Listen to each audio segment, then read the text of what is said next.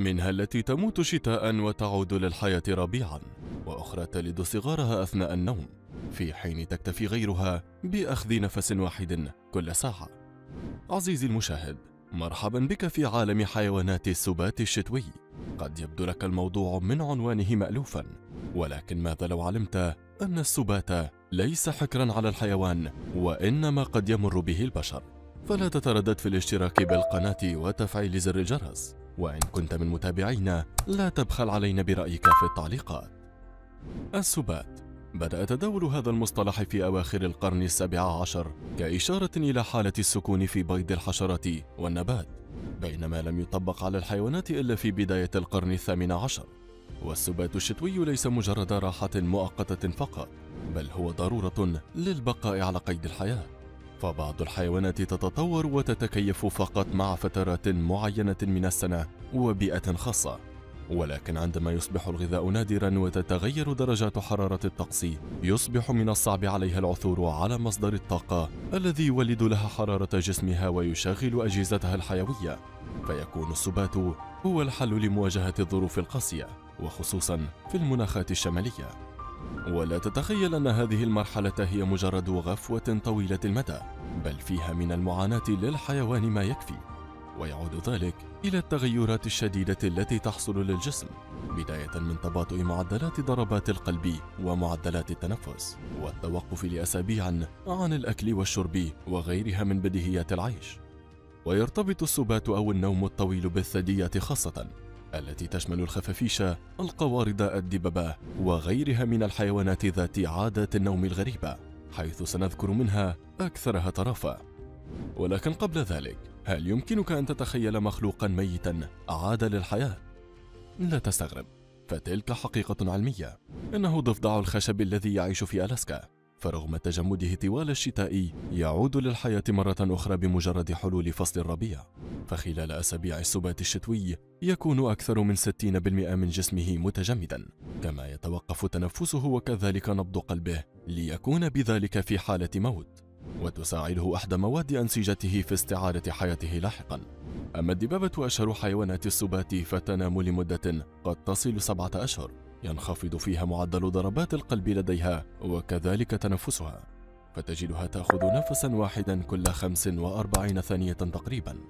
وقد يتساءل البعض عن كيفية حماية نفسها أثناء السبات المميز أن الدبابة لا تنخفض درجة حرارة أجسادها مثل بعض الحيوانات الأخرى بحيث يكون جسدها جاهزا للأحماء والتحرك فورا حال الشعور بأي خطر يهددها. أما بالنسبة للتغذية فالدهون التي تتراكم داخلها خلال الصيف والخريف عادة ما تكون كافية لحاجياتها الغذائية.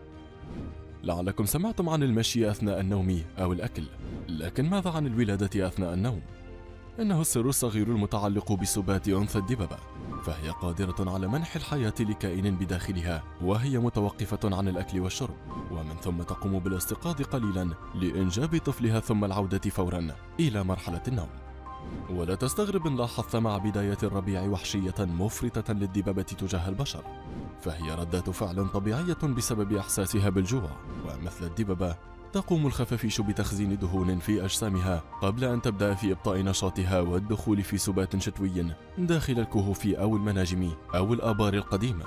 ويمكنها أن تعيش تلك الفترة ما بين خمسة وستة أشهر معتمدة على بعض جرامات فقط من الدهون المخزنة في أجسادها. لكن على عكس الدببة فإن الخفافيش تدخل في حالة نوم عميق حقيقية تأخذ خلاله نفسا كل ساعة ولا تستيقظ إلا للضرورة.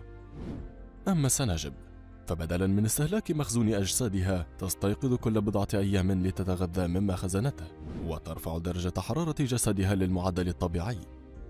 لكن مع ارتفاع درجة حرارة الشتاء بسبب الاحتباس الحراري أصبحت السناجب في المناطق الأكثر دفئا أقل عرضة للسبات.